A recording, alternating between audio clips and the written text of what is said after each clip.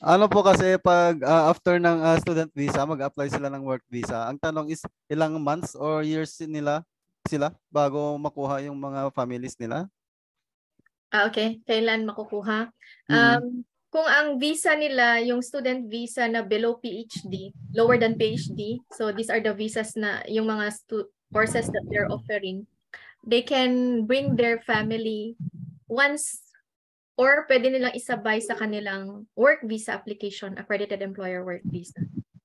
So, ibig sabihin, pag may job offer na sila at mag apply na ng work visa, pwede na lang isabay yung kanilang mga families if they wanted to. Or they can wait na ma-approve yung accredited employer work visa nila and then isunod na right away yung mga family. Pwede yan.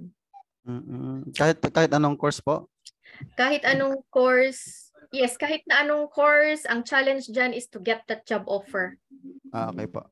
And then of course, it really depends din kung ano yung makukuha nila na visa. Meron kasi tayong tinatawag na low paid, high paid. Okay? Yung yung high paid is yun yung mga uh, mag-apply ng work visa within the threshold.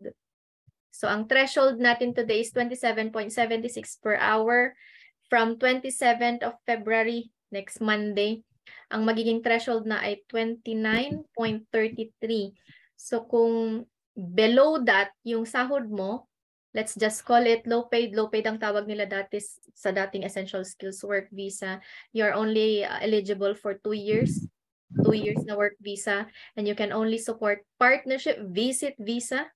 So meaning makakapunta pa rin, no? Makakapunta Ah, pa okay rin po. yung mga family. But uh, like katulad niyan, no, may changes din sa April.